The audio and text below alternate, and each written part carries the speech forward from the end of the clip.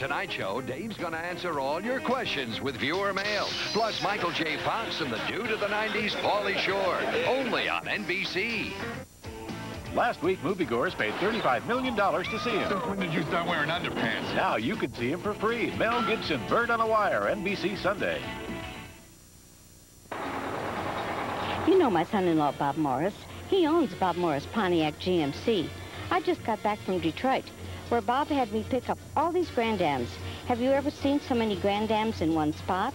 Bob has two doors, four doors, automatics, and five speeds. Over 100 Grand Ams in stock.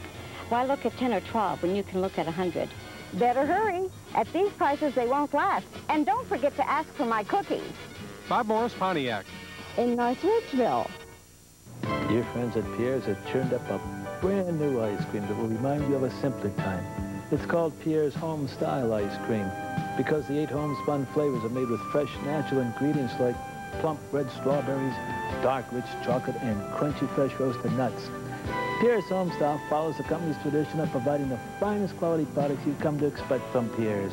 Oh, so remember, there's no place like home, and there's no simpler pleasure than Pierre's Homestyle Ice Cream. Partly sunny in the morning, but showers and thunderstorms in the afternoon on Saturday.